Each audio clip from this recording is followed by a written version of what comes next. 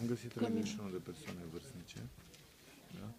neglijate terapeutic și fiziologic și necesită îngrijiri speciale care nu le aveam aici și a trebuit să-i transportăm către o unitate sanitară pentru evaluare și continuarea îngrijirilor competente. Da, da. Necesitau și internare? Nu necesită internare într-o unitate de acut, ci în în unități de cronici.